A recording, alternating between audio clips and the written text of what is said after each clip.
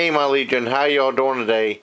And welcome to Wet Wednesdays. I uh, I'm taking a break from the backlog Wet Wednesdays. I still have four of them left. I wanted to go and do some of the ones I already have for Wet Wednesdays. And this is another ramune video, and this flavor actually mystifies me. This is uh, Hawaiian Blue. I have no idea what this flavor is going to be. Um, I got this from uh, Oh, West Side Market in Cleveland, Ohio. And this was $2 from their Asian market right there. A little Asian section they had that said Enjoy Pop Soda. There's a Japanese soda. And there's a certain way you open up these up. I'll give you a little tutorial about these. Because this uh, kind of the fun about these items is just uh, opening them up kind of too. That's, you know, part of the fun. Whoop, there goes that. Okay.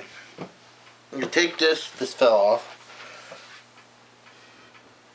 and you, it's a little plastic thingy, because there's a marble right inside there, right up here. And what you do is you take this out of the plunger and you break it off, right? You take the plunger on top of the marble and put your hand here and hand here and push down. Okay. And hopefully it doesn't fizz up. I've never had one fizz up on me.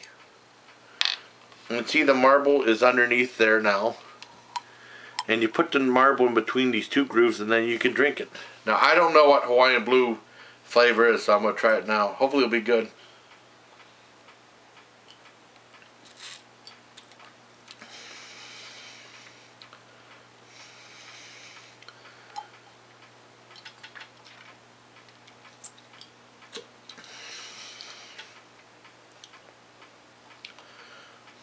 I don't know, it's like a blue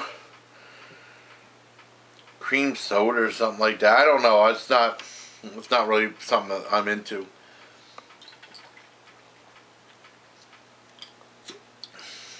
Uh, this is okay.